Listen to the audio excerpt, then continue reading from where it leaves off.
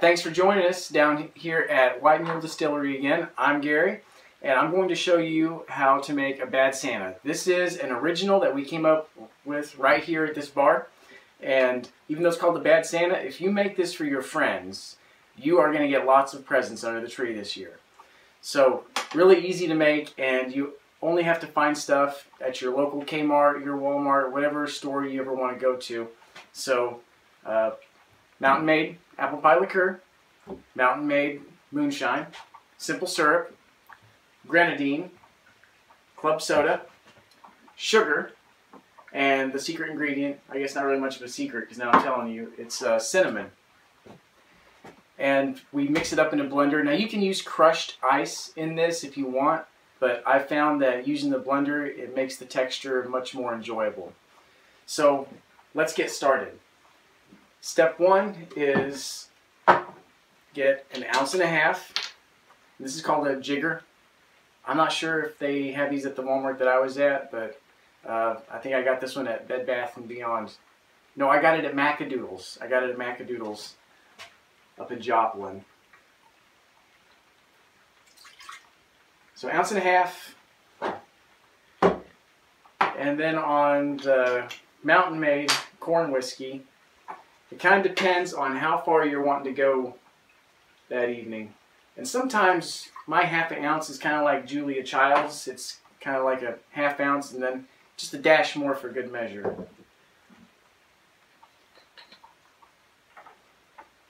And then an ounce of simple syrup.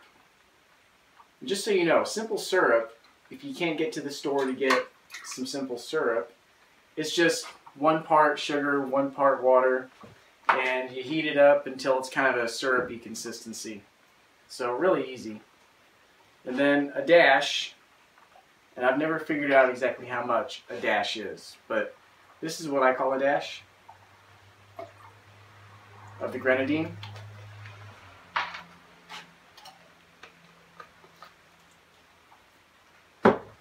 And two to three ice cubes. These are a little bit melty, so we're going to go with three put it in the blender, and then blend it until it's a pretty smooth consistency. You don't want chunks of ice in this.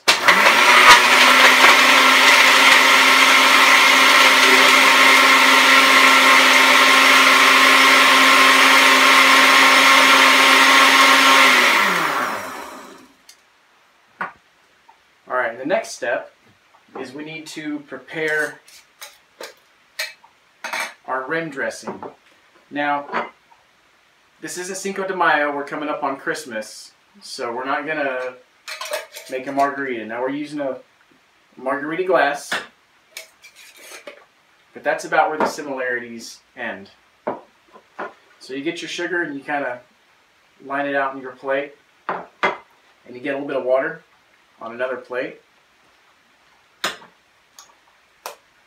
And just lightly sprinkle the top of the sugar with some cinnamon.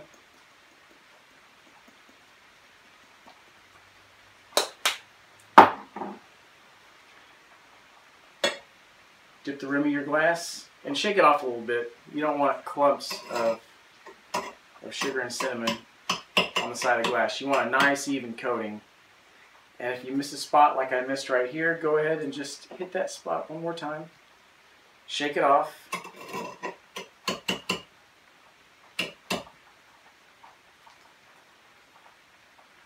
And voila. That's how your rim should look. A nice sugary cinnamon covering.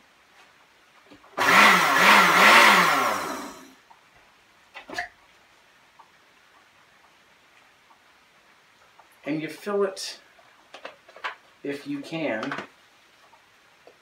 have it on there correctly, you fill it up most of the way.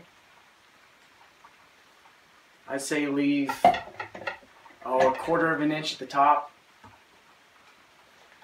and then you top it with your club soda.